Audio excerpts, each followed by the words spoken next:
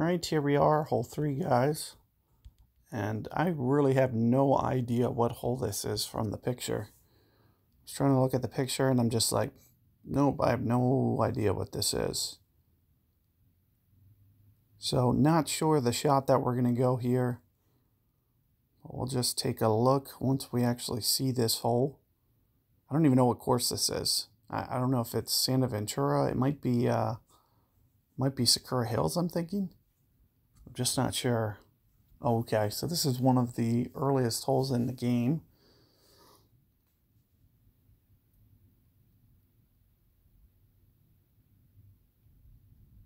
You can see what my opponent has. Um, you know, I, I, I definitely am going to recommend this Power 5 option.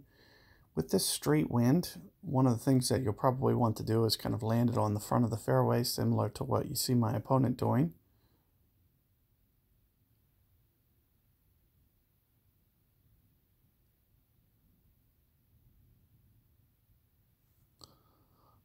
Let me just go ahead and throw my grid on here. Be a little bit easier for precision aiming. Alternatively, you can use the take shot button if you don't have a grid. Works relatively the same. This just lets me do it a little bit quicker. I'm a pretty slow player, so I prefer not to rush as much.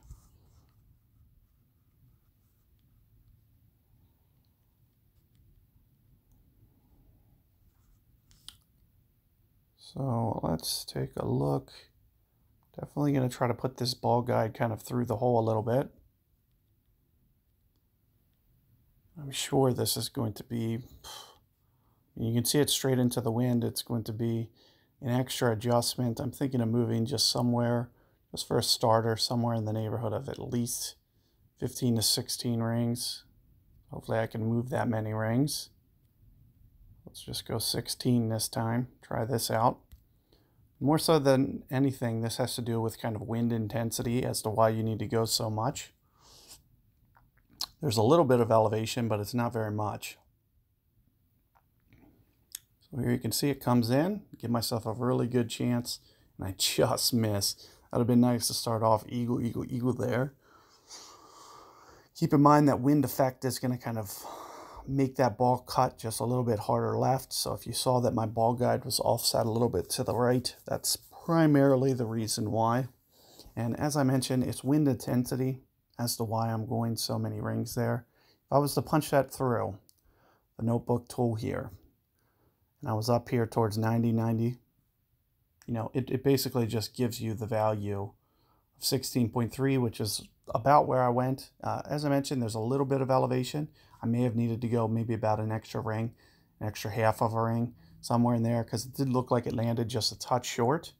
And you can see the effects that that gives me is it would have, uh, you know, just needed to go just a little bit more. I went about 16 right on. And I believe, you know, maybe 16 and a half there would have been ideal, or 16, 17, you know, somewhere around an extra yard because it looks like I landed just a hint short. Now let's take a look at this. I remember this being kind of right at min club. Yeah, that's going to be a tough one for the shootout. It's a very tough wind angle. If it would have been straight in, if it would have been a little bit more in the face, it would have been a little bit easier. But we have played that hole in the past, and I should be should be good to go. Um, you want typically on that shootout, you do play very close to the mid club line. So 1.3 is pretty good there per ring on a QB, for example. So if my win would have been a 10 or a 12, let, or if my win's a 13, I would go 10 rings, for example, just to keep it really simple.